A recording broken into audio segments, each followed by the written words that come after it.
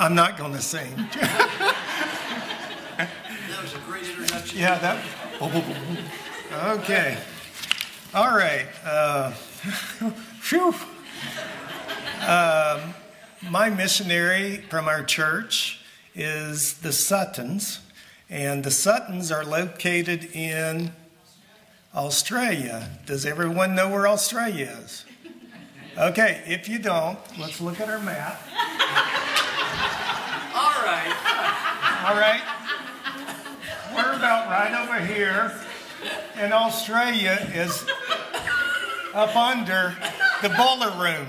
Okay? It's down under, not up under, it's down under the boiler room. So they are a they are a good piece from us. So, uh, but I do have their their letter from around Christmas, and and their family is Kyle, that's the dad, and Jamie, and then they have two sons, Jonathan and David. So be praying for them. And I'll read you a little bit from their, their newsletter here.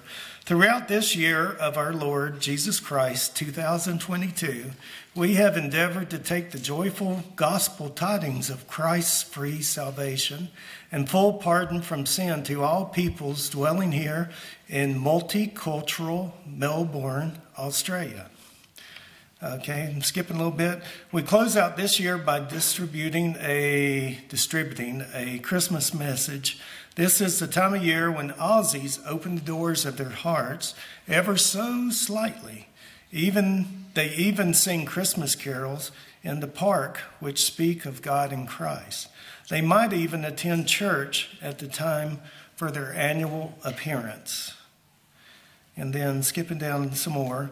In the new year, which is this year, 2023, uh, the year of our Lord, we will be focusing on reaching Jewish people. We have an exciting new message to take to them, which we will reveal to you in our January February prayer newsletter. We ask you to be praying in advance as we write a new gospel track for the Jewish people of Melbourne and develop various accompanying strategies to deliver it to them throughout the year. And then they, they did uh, thank us for our, our financial gifts, prayers, faith, and cards of encouragement and Christian love. And they said since Australia is the driest continent on earth, both geographically and spiritually, we need your prayerful support all the more. And so uh, they, they, sounds like they Michelle's got a brother lives in Australia, and uh, and it is a wicked place, just like America. I mean, they have spots, I'm sure, that are worse than others.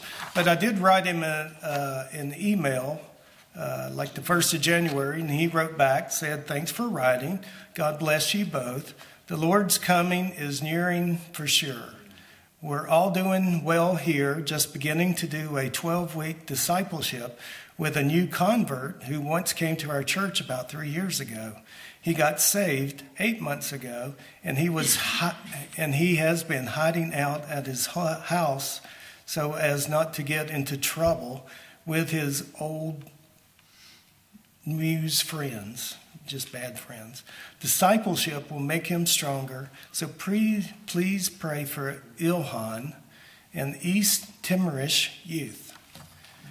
And, and so that's, uh, that's their burden right now is reaching the Jewish uh, people and also just the local people where they're located. So give, give them your prayers. Oh, it's not listed here. She must be older or something. She's living with uh, James Perry. Oh, okay. Or she was the last time I talked to James. All right. Yeah, I just used the names they had listed. So. The boys are still there in Australia. They must have got rid of her. So.